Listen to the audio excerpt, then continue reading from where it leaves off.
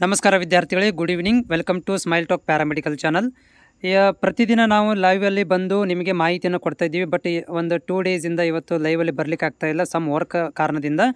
ಆದರೆ ಇವತ್ತಿನ ಒಂದು ಹದಿನೇಳನೇ ತಾರೀಕಿಗೆ ಏನೆಲ್ಲ ಅಪ್ಡೇಟ್ ಇದೆ ಜಿ ನರ್ಸಿಂಗ್ ಬೋರ್ಡ್ ವೆಬ್ಸೈಟ್ ಒಳಗಡೆ ಅನ್ನೋದ್ರ ಬಗ್ಗೆ. ಸೊ ಮಾಹಿತಿಯನ್ನು ತಲೆ ಹಾಕಿದಾಗ ನಿಮ್ಗೆ ನಾನು ಸ್ಕ್ರೀನ್ ಮುಖಾಂತರ ರೆಕಾರ್ಡಿಂಗ್ ಮಾಡಿ ತೋರಿಸ್ತಾ ಇದ್ದೇನೆ.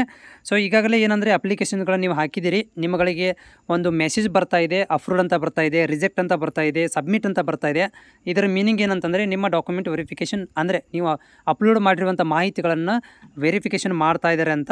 ಆಮೇಲೆ ನಾಳೆ ತನಕನೂ ಕೂಡ ಯಾರಿಗೆ ಪೇಮೆಂಟ್ ಮಾಡಿಲ್ಲ, ಅಂಥ ವಿದ್ಯಾರ್ಥಿಗಳಿಗೆ ಚಾನ್ಸಸ್ ಇದೆ ಪೇಮೆಂಟನ್ನು ಮಾಡಲಿಕ್ಕೆ. ಪೇಮೆಂಟ್ ಪೆಂಡಿಂಗ್ ಅಂತ ಇದ್ದರೆ ಅದರ ಬಗ್ಗೆ ಕೂಡ ನಾನು ಮಾಹಿತಿಯನ್ನು ಕೊಟ್ಟಿದ್ದೇನೆ. ನೀವು ಮೇಲ್ ಮಾಡಬೇಕಾಗತ್ತೆ ಜೆ ಎನ್ ಎಂ ನರ್ಸಿಂಗ್ ಬೋರ್ಡ್ನವರಿಗೆ ಅವರು ನಿಮಗೆ ಕ್ಲಿಯರ್ ಮಾಡಿ ಕೊಡ್ತಾರೆ.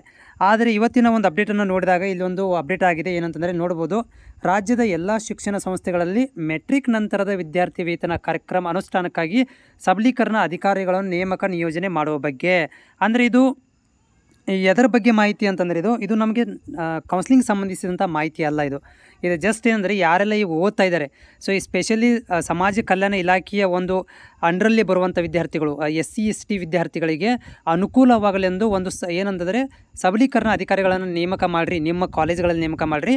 ಆ ಒಂದು ವಿದ್ಯಾರ್ಥಿಗಳಿಗೆ ಪ್ರೋತ್ಸಾಹ ಧನವನ್ನು ಏನಾದರೂ ಅಪ್ಲಿಕೇಶನ್ ಹಾಕಲಿಕ್ಕೆ ತೊಂದರೆಯಾದಲ್ಲಿ ಅವ್ರಿಗೆ ಸಹಾಯ ಮಾಡಿರಿ ಅನ್ನೋದೊಂದು ಅಧಿಕಾರಿಗಳನ್ನು ಆಫೀಸರ್ಗಳನ್ನು ಮಾಡಿರಿ ಅನ್ನೋದ್ರ ಬಗ್ಗೆ ಇಲ್ಲಿ ಮಾಹಿತಿ ಇದೆ. ಅಷ್ಟೇ ಅದನ್ನು ಬಿಟ್ಟರೆ ಬೇರೆ ಯಾವುದೇ ಥರದಂಥ ಒಂದು ಏನಂತಂದರೆ ಅಪ್ಡೇಟ್ ಅಂತ ಇರೋದಿಲ್ಲ. ಜಿ ಎನ್ ಎಂ ನರ್ಸಿಂಗ್ ವೆಬ್ಸೈಟಿಂದ. ಇನ್ ಕೇಸ್ ಆಫ್ ಹಂಗೇನಾದರೂ ಅಪ್ಡೇಟ್ ಆಗಿದ್ದರೆ ಸೊ ಡೆಫಿನೆಟಾಗಿ ನಾನು ಏನು ಮಾಡ್ತೀನಪ್ಪ ಅಂತಂದರೆ ನಿಮಗೆ ಮಾಹಿತಿಯನ್ನು ಕೂಡ ನಾನು ಶೇರ್ ಮಾಡ್ತೇನೆ. ಜೊತೆಗೆ ನೀವು ನಮ್ಮ ಟೆಲಿಗ್ರಾಮ್ದಲ್ಲಿ ಕೂಡ ನೀವು ಡಿಸ್ಕಷನ್ ಮಾಡ್ತಾ ಇರ್ತೀರಿ.